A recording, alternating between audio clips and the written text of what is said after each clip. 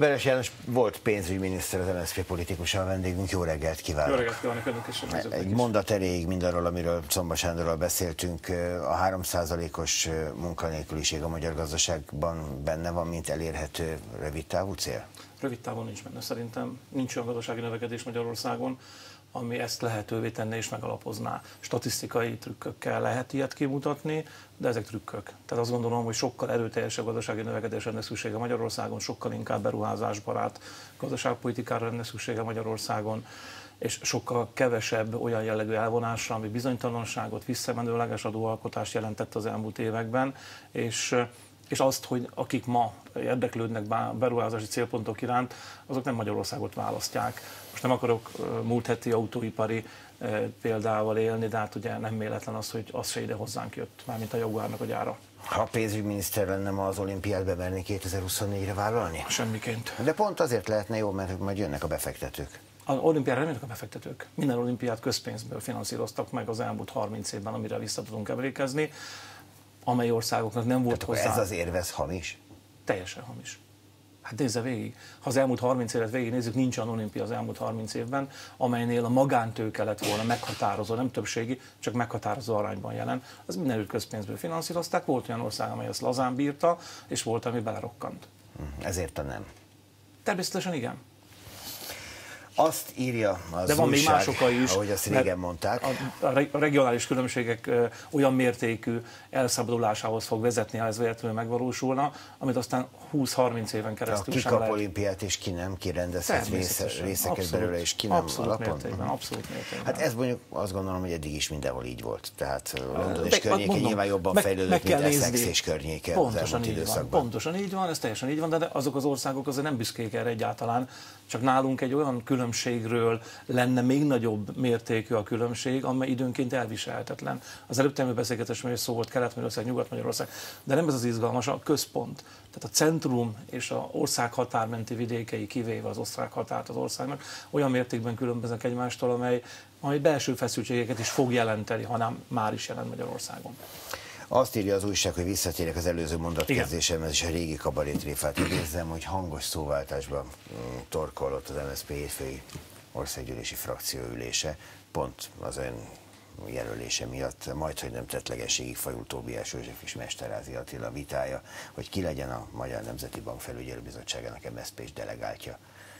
Mit gondol erről az értesülésről?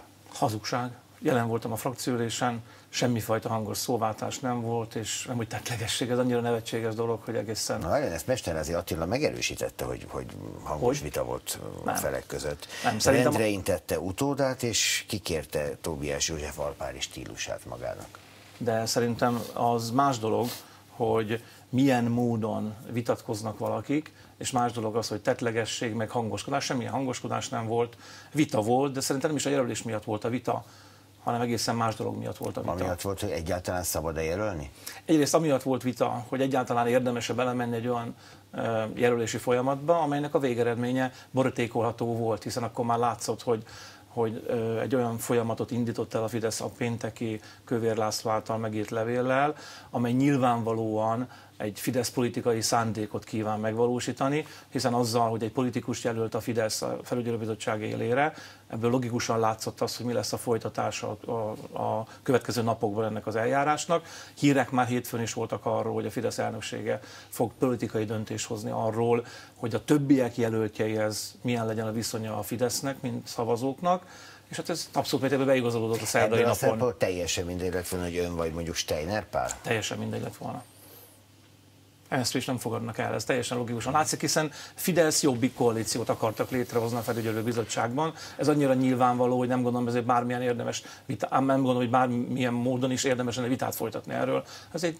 elő, előre eldöntött ügy volt a Fidesz részéről. Kifelé a párt kommunikációban jelent az valódi differenciát, hogy Mesterházi Attila beleáll ebbe az ügybe és nyilatkozik arról, hogy mi történt a frakcióülésen. Tóbiás József meg azt mondja, hogy nem teszi, mert hogy ez egy zárt ülés volt? Hát nézd, de ez a politikusok közötti véleménykülönbség, én most azt gondolom ebben a kérdésben.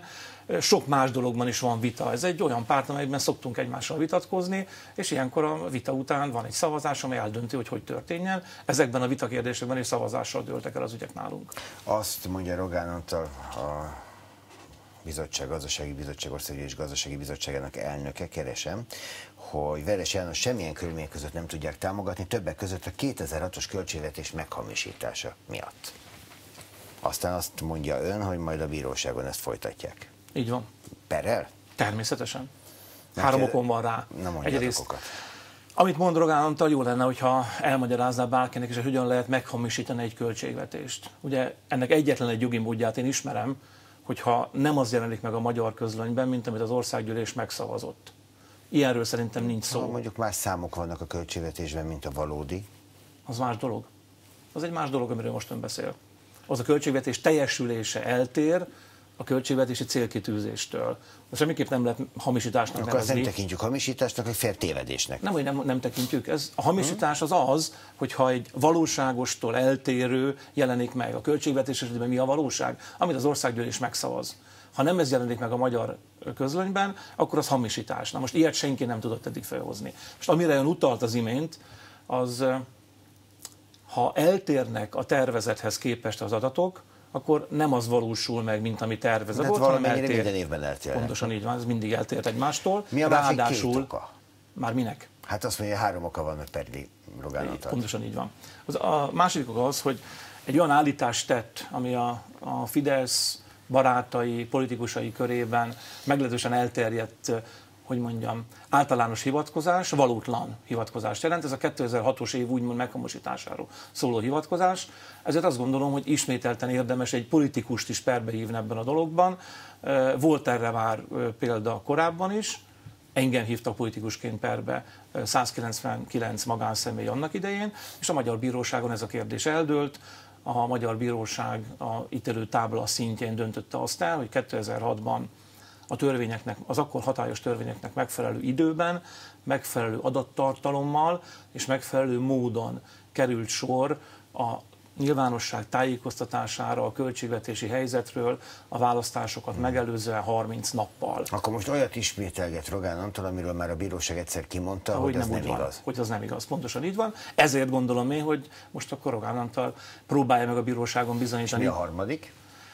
A, én, most, én most kettőt mondtam. Aha, én most kettőt. Igen. Az egyik azt mondom, hogy a Fidesz körében egy általánosan igen, elterjedt igen, igen. nézetet Jó, így, mond, értem. és Jó. a harmadik az az, hogy van egy bírósági döntés, amely bírósági döntés már réges-régen ezt a kérdést eh, nem politikusok közötti vita szintjén dönti el. Arról van Nézze... véleménye, hogy, hogy összesen Fideszes KDNP és Jobbikos került be a Magyar Nemzeti Bank Felügyelő Bizottságába, tehát gyakorlatilag a, a hogy mondjam, a demokratikus ellenzékben senki. Hogy ne lenne, azért, mint elmondtam, hogy ez egy politikailag eldöntött ügy volt a Fidesz részéről. Már szerdán, amikor Rogán úr bejött a bizottság ülésre, világosan lehetett látni a helyszínen, hogy összehívta a sarokba a Fideszes KDNP-s képviselőket, és kihirdette nekik a döntést.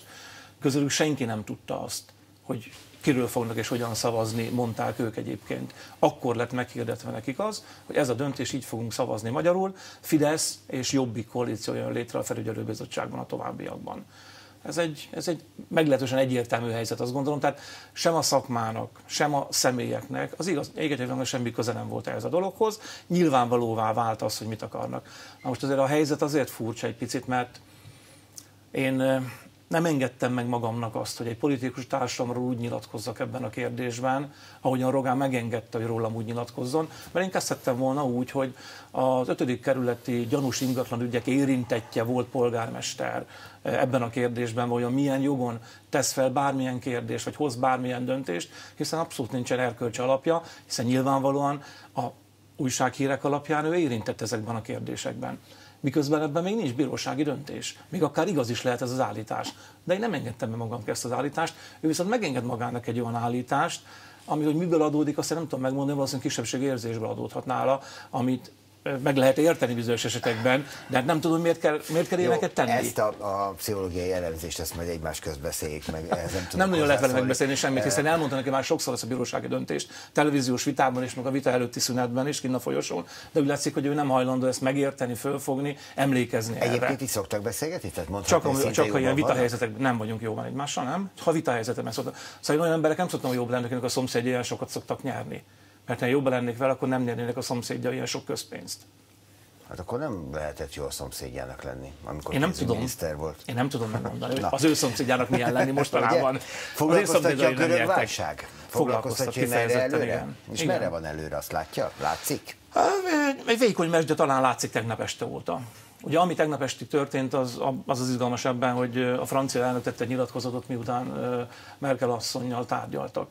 Ez a nyilatkozat eléggé egyértelműen kemény a tekintetben, hogy elvárja, hogy a görögök tegyenek határozott javaslatokat a mai napon az Euróországok csúcs találkozója előtt, és és híven ahhoz, amit képviselt Franciaország az eddigiekben is, nem elzárkózó. Tehát nem azt mondja, hogy megvolt a népszavazás, eldöntöttétek, menjetek az eurozónából, hanem nyitva hagy egy kaput. Mondjuk Merkel ennél keményebben fogalmazott, mint Aland. Én ezt belátom, hogy így van, de miután ketten tárgyaltak együtt, és, és ezt követően elhangzott nyilatkozatoknál, az várható is volt, hogy a német álláspont keményen lesz ebben a kérdésben, de az, hogy nyitva van vagy egy kiskapu, ez világosan látszik. Hogy ezt a mai napon vajon a görögök megfelelő javaslattal tudják-e kinyitni ezt a kaput, és bemenni ezen a kapun, vagy pedig ismételten rossz irányba fog elmenni a tárgyalás. Ez a lehetőség sajnos benne van.